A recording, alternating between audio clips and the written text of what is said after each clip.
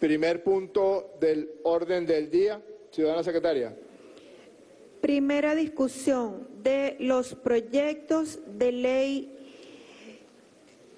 orgánica de reforma del Código Orgánico Procesal Penal. Primera discusión del proyecto de ley orgánica de reforma del Código Orgánico Penitenciario. Primera discusión del proyecto de ley orgánica de amparo a la libertad y seguridad personal. Primera discusión del proyecto de ley de reforma a la ley de protección de víctimas, testigos y demás sujetos procesales. Primera discusión del proyecto de ley orgánica de reforma del Código Orgánico de Justicia Militar. Primera discusión del proyecto de ley de reforma de la ley del Estatuto de Policía de Investigación. Y primera discusión del proyecto de ley de transparencia y acceso a la información pública. Es todo de este primer punto, ciudadano presidente. Gracias, secretaria. Déjame el derecho de palabra al ciudadano diputado Diosdado Cabello Rondón. Mira, llévaselo aquí. Ahí está. El diputado Diosdado Rondón, Diosdado Cabello Rondón, Solicita solicita a la se le Junta. Directiva de la Asamblea Nacional el acceso a la tribuna de oradores, desde donde va a presentar estos proyectos de ley que vienen siendo trabajados, realizados y consultados por la Comisión Permanente de Política Interior de la Asamblea Nacional. De inmediato escuchemos al diputado Diosdado Cabello Rondón, quien explicará a la plenaria del Parlamento Nacional, ya aquí sus 277 parlamentarios y parlamentarias, los alcances y exposición de motivos de cada uno de estos instrumentos legales que trabaja la nueva Asamblea Nacional. Buenas tardes, buenas tardes queridas compañeras, queridos compañeros, colegas diputados, colegas diputadas, reciban un caluroso saludo de nuestra parte. Me corresponde en este momento hacer un planteamiento ante la directiva de esta honorable Asamblea Nacional y su plenaria de una propuesta, una propuesta de reformas parciales de algunas leyes. Todo esto enmarcado en una tarea que nos fue encomendada, encomendada. Hace ya unos dos meses, el Consejo de Estado de la Nación fue convocado por el ciudadano presidente constitucional de la República Bolivariana de Venezuela, el presidente Nicolás Maduro, en una reunión para revisar, se hizo una reunión para revisar todo lo concerniente al funcionamiento del sistema judicial. De esa reunión hubo algunas conclusiones. La primera conclusión inmediata fue la creación de una comisión especial para la revolución del sistema de justicia en Venezuela,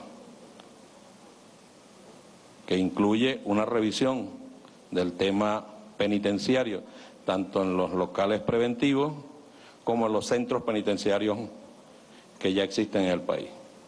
Luego ir a una revisión de las leyes, de todas las leyes del sistema de justicia, que rigen el sistema de justicia, y como tercer lugar es la reestructuración del sistema como tal, con la revisión de cada uno de aquellos funcionarios a todos los niveles que les corresponde impartir justicia. Impartir justicia. Señor presidente de la Asamblea, agradezco esta oportunidad, señor vicepresidente, que me dan de solicitar ante esta plenaria que sigamos avanzando, sigamos avanzando en función de mejorar cada día más nuestro sistema de justicia. Sigamos avanzando en la revisión minuciosa de cada detalle, que nos vamos a seguir encontrando detalles, pero que tenemos nosotros la tarea fundamental no solo de revisar, sino de cambiar, de cambiar. Yo, antes de dar inicio formal a mi exposición o a mi solicitud, me permito revisar unos artículos de esta Constitución, la Constitución de la República Bolivariana de Venezuela, el artículo 2 de nuestra Constitución.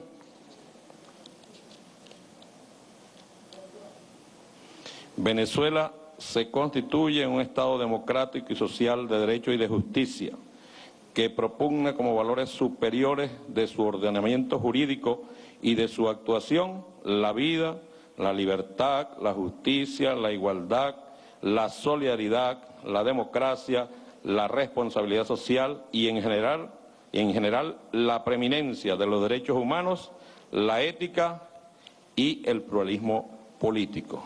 Artículo número 2 de nuestra Constitución, artículo 19 de nuestra Constitución.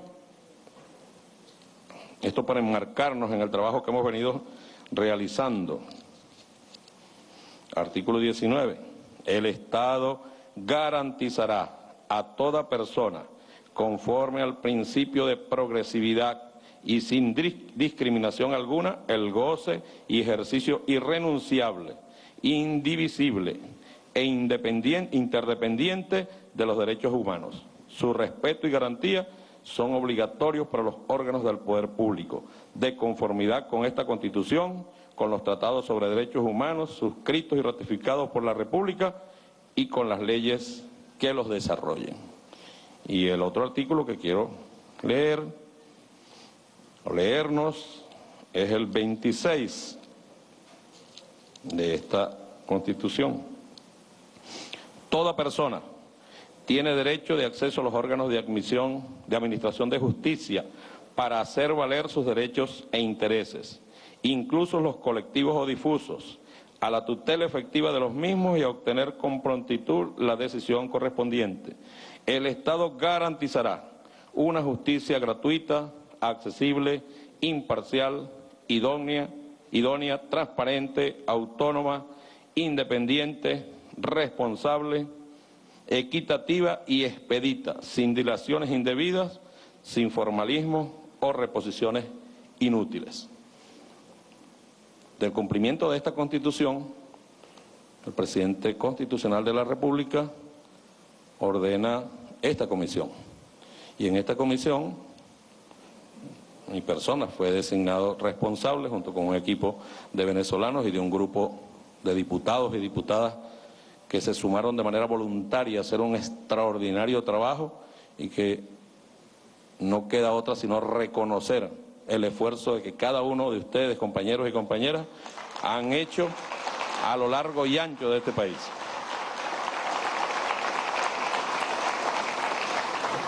Fíjense esto. Ese, ese, ese aplauso está como débil para estos compañeros, que de verdad han hecho un trabajo extraordinario. Yo les pido que se pongan de pie, por favor, a los compañeros que han hecho este trabajo. Perdónenme que... Y me van a dar la razón cuando lea estos números. Me van a dar la razón. Nadie vaya a creer que fueron a un centro penitenciario que está en la policía de un estado, de un municipio, dame la lista, a estos son me voy. No, no fue así el trabajo. Se visitaron 394, se han visitado hasta ahora, 394 centros. Se han atendido 27.963 procesados en sus distintos niveles. Estamos hablando de las visitas a los centros de detención preventivo. 27.963. Se han entrevistado a 27.963 personas, seres humanos, mujeres y hombres, jóvenes, que han estado allí. Es fácil sacar una cuenta. Según lo, que hemos revisado, cada una de estas actividades duraba alrededor de 10 horas cada visita. Cada visita. 394 centros por 10 horas, ¿cuántas horas de trabajo? Hay centros donde no culminaron el trabajo un día, ni dos, ni tres, una semana completa de trabajo intensivo. Por eso digo que estos compañeros y estas compañeras merecen el reconocimiento de esta Asamblea y del país por el esfuerzo que han hecho. Y les voy a decir algo adicional, ninguno de esos centros de detención preventiva son cinco estrellas. Con todas las carencias y todos los problemas que hay allí, con todas las situaciones y las necesidades de los detenidos y las detenidas, por las razones que sean, por las razones que hayan tenido para, para en algún momento cometer un acto delictivo. Se ha hecho ese trabajo, se ha revisado, se ha ordenado conjuntamente con el Poder Judicial medidas cautelares para un total, medidas cautelares de 16.064 medidas cautelares, que tiene que ver pues con, con sitios de reclusión distintos, ser juzgado en libertad, todo dándole cumplimiento básicamente a estos tres eh, artículos de nuestra Constitución. Ahora, ¿terminamos el trabajo? No, no lo hemos terminado. Ahora debemos ir también a los centros penitenciarios, a los centros de reclusión definitiva, que ustedes saben que el gobierno bolivariano, el gobierno nacional, ha hecho una profunda transformación de estos centros, una profunda transformación. Y el sistema de justicia de Venezuela, el de hoy, también podemos someterlo a comparación con el viejo sistema de justicia de la Cuarta República. Podemos someter a comparación. Por ejemplo, esta Asamblea Nacional en la Cuarta República era dominada por tribus judiciales, porque aquí se traían las leyes que presentaban los bufetes. Aquí me imagino que debe haber alguien que fue diputado en la Cuarta República, seguramente, o en los finales de la Cuarta República. A mí me tocó venir aquí a ser interpelado, más de una vez, siendo director de Conatel, por diputados que lo que querían era defender sus intereses. Y cómo se aprobaban las leyes aquí, a quiénes favorecían las leyes acá. No hay, no hay nivel de comparación de cuánto se ha avanzado en el sistema judicial en estos últimos 20 años con el trato a los venezolanos y las venezolanas. Si no recordemos cuántos venezolanos cayeron por disparen primero y averigüen después. ¿Cuántos venezolanos se les aplicó la ley de vagos y maleantes por muchísimos años hasta que ya no pudieron más? Ha sido un cambio significativo. No es para cantar victoria, porque si algo caracteriza a una revolución es que tiene, tiene que revisarse constantemente para ir corrigiendo los errores, corrigiendo los problemas. Y ahí hemos encontrado problemas hemos encontrado problemas. Y esta comisión, yo lo, se lo dije a, a las personas, nosotros vamos a llegar hasta el hueso del problema en el sistema judicial. Vamos a llegar hasta el hueso. No podrán estar por delante de los intereses de los venezolanos los intereses de uno, dos o tres personas. Eso está descartado de una vez. Aquí estuvimos nosotros para el momento de esa comisión se planteó un, grupo de leyes. Bueno, esta es la respuesta, el día de hoy es la respuesta a esa comparecencia inicial, cuando arrancamos eh, el trabajo. Arrancamos el trabajo y hemos venido revisando, estas son las primeras leyes que vamos a solicitar su reforma, algunas de manera puntual, y el trabajo sigue avanzando, pero necesitamos corregir algunos detalles en este instante. No es un trabajo sencillo, es un trabajo minucioso, de detalles, pero para eso nos eligió el pueblo de Venezuela, para revisar de manera consciente cada uno de estos instrumentos legales. Vamos a pedir la reforma del Código Orgánico Procesal Penal y el Código Orgánico Penitenciario. Código Orgánico Procesal Penal y el Código Orgánico Penitenciario ¿Necesario? Sí.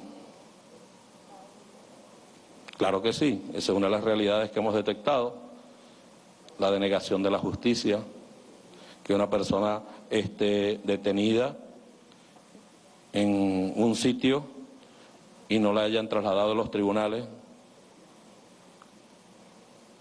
por las distintas razones que haya habido.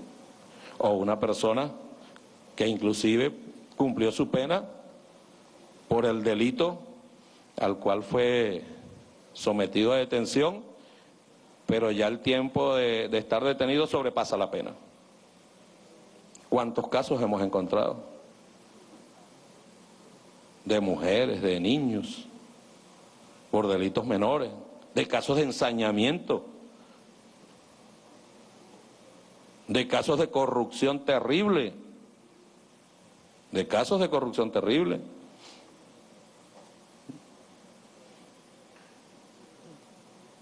Eh, todo esto tiene que ver con un solo interés, que la persona que está siendo procesada es inocente hasta que se pruebe lo contrario. La presunción de inocencia de quien está siendo procesado. Eso a veces tiene la rutina a, no sentirse, a no verse. Y vamos acumulando. Y una excusa extraordinaria que pusieron, no, es que estamos en pandemia. No, estamos en pandemia y no podemos avanzar. Bueno, en pandemia hemos visitado 394 centros y hemos entrevistado a 27.963 hombres y mujeres.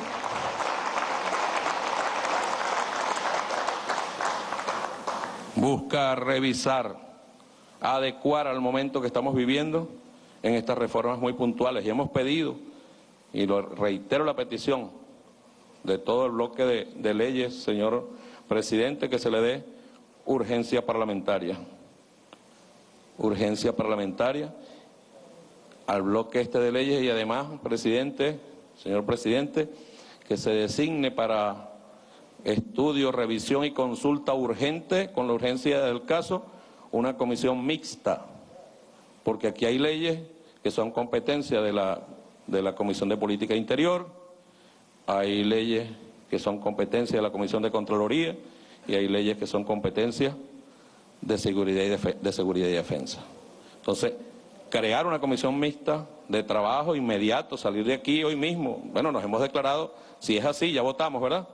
Si es así, esto debemos trabajarlo en el más corto lapso posible. Quienes tengan alguna sugerencia, ahí estará la comisión para recibirla. También queremos presentar una nueva ley de amparo a la libertad y seguridad personales para proteger aún más los derechos humanos a la libertad, la presunción de inocencia, la integridad personal y el debido proceso. Una ley, una, nueva ley de amparo a la libertad y seguridad personal.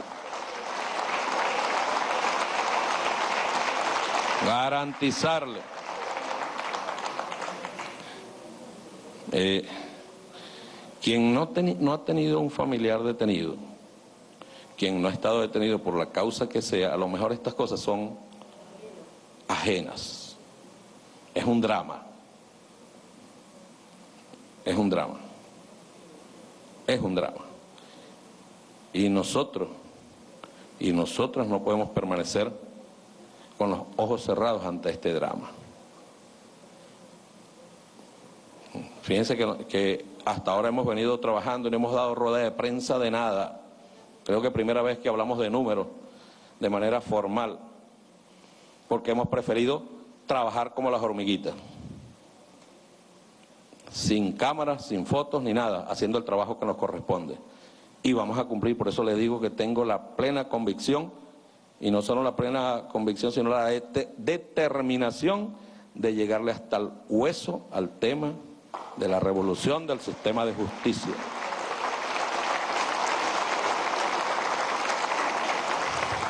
Denuncian de funcionarios, sí, a todos los niveles, de policía, Ministerio Público y Sistema de Justicia y Tribunales.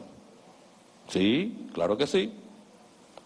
Nosotros no vamos a, que serán procesados y han venido algunos ya procesándose por la vía directa, tomando las decisiones que corresponden sin hacer bulla, pero cumpliendo con el trabajo encomendado. Luego iríamos a una reforma del Código Orgánico de Justicia Militar para asegurar que la jurisdicción militar se concentre en juzgar a los militares y para que las y los civiles siempre sean procesados en tribunales penales ordinarios.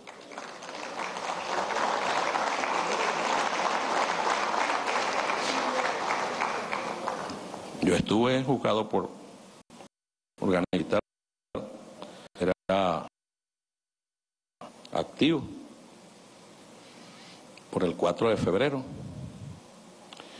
y nosotros estábamos en rebeldía, nos declaramos en rebeldía, no reconocíamos al juez. Vino el 27 de noviembre, Earle. Y 27 de noviembre ellos hicieron lo que hizo Betancourt, con el carupanazo y el porteñazo. y en cinco minutos condenaban a la gente a 27, 28, 29 y 30 años. Así era, así lo hicieron en el gimnasio de la Academia Militar de Venezuela. Pasa adelante, ¿cómo se llama usted? Jesse Chacón, grado, teniente, unidad, UFAN, 27 años. Fuera de aquí. Será la justicia. ¿Y cuántos compañeros, hermanos y hermanas que decidieron ir a la lucha armada en su juventud porque no tenían otra opción, otro camino, otra vía, fueron juzgados por tribunales militares y sometidos a leyes militares y cuántos fueron asesinados en aquella época? Hay más de 11.000 en la cuenta, de los cuales 3.000 aún no han aparecido los cuerpos. La historia, queremos borrar esa historia, pero no olvidarla, ¿ves? Borrarla es que no volvamos a, a caer en esa cosa ni ahorita ni en 100 años, pero no olvidarla. Aquí hay compañeros que sufrieron en carne propia Soto Roja, Marelis, María, en carne propia, persecuciones a ellos y a su familia. Entonces queremos hacer ese planteamiento de una reforma del Código Orgánico de Justicia Militar para que se encargue de juzgar solo a los militares y que los civiles sean juzgados por sus jueces naturales, cada vez que cometan un delito, independientemente del delito que cometan. Luego tenemos la reforma a la ley del estatuto de la función de la de policía de investigación. Recuerden que aquí fue introducido ya en primera discusión una reforma de la ley del estatuto de la función de policía, que tiene que ver mucho con la Policía Nacional. Esta Policía de Investigación tiene que ver con el 6CPC, el 6CPC, para cubrir todo los, el ámbito. Y tiene mucho que ver con quién, a quién le corresponde la investigación. ¿A quién le corresponde la investigación? Aquí se cometieron muchas... Eh, muchos delitos en verdad. Cuando la Fiscalía en algún momento, el Ministerio Público, cuando estaba una señora que no voy a nombrar, eh, pagaba y se daba el vuelto. Pagaba y se daba el vuelto yo mismo.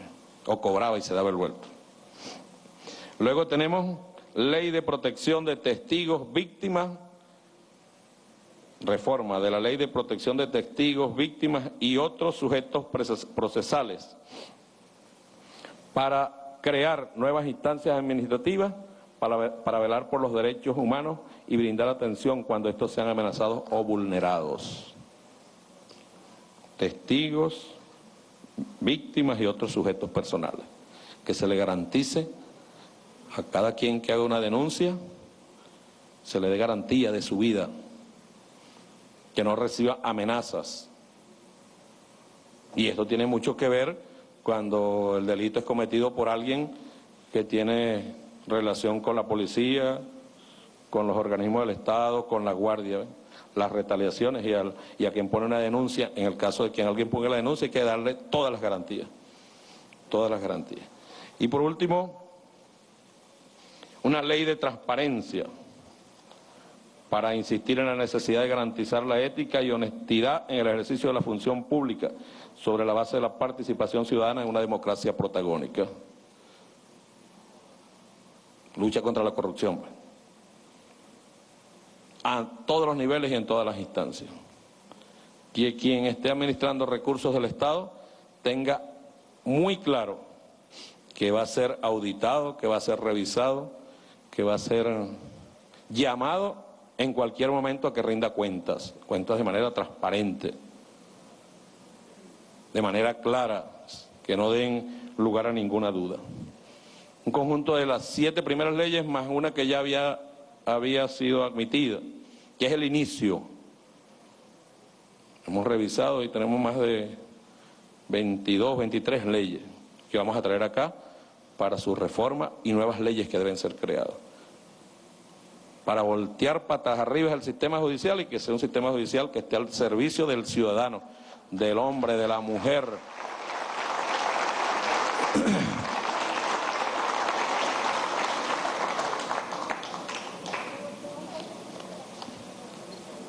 Y nosotros seguiremos trabajando y dándole forma a lo que hemos venido haciendo. Nosotros iniciamos este, esta jornada con 43.121 personas en centros penitenciarios conocidos, como el Rodeo, la Pica, etcétera, etcétera. Y 38.737 personas en centros preventivos, llámese las policías, el 6CPC, llámese la Guardia Nacional o cualquier otra que se le ocurriera a la autoridad competente. Vamos avanzando, no nos vamos a detener. Hemos tenido, es cierto, primero hubo una un choque, un choque, porque algunos creían que estamos interviniendo el Poder Judicial. No, no, no. Nosotros estamos cumpliendo con la Constitución. Ningún poder es, absolutamente eh, intocable. Aquí está en la Constitución, la corresponsabilidad. Luego de algunas reuniones entendimos y hoy podemos decir que en el 95% de los casos estamos trabajando de manera coordinada el Ministerio Público, el Poder Judicial y la extraordinaria Comisión de Diputados y Diputadas que han estado allí. Señor presidente, por eso solicitamos ante usted respetuosamente, ya ha sido aprobado cada ley, pero lo reiteramos, la, darle una moción de urgencia a este paquete de leyes y seguramente a las otras que vamos a traer, porque esto nos va a permitir avanzar con mayor rapidez. Y que sea creada esa comisión mixta para abordar de manera integral cada una de estas propuestas de ley. Compañeros, compañeras, muchísimas gracias por escucharme, agradezco a todas y a todos. Y seguiremos avanzando nosotros en la revolución del sistema judicial. ¡Que viva la patria! Hace entrega el diputado Diosdado Cabello Rondón, presidente de la Comisión Especial para la Revolución del Sistema de la Justicia de estos proyectos de ley que están pidiendo su creación en algunos casos y sus reformas en otros y que eh, coadyuvará... Ciudadana Secretaria, hay dos propuestas en mesa, por favor, la votaremos luego de agotados los derechos de palabra.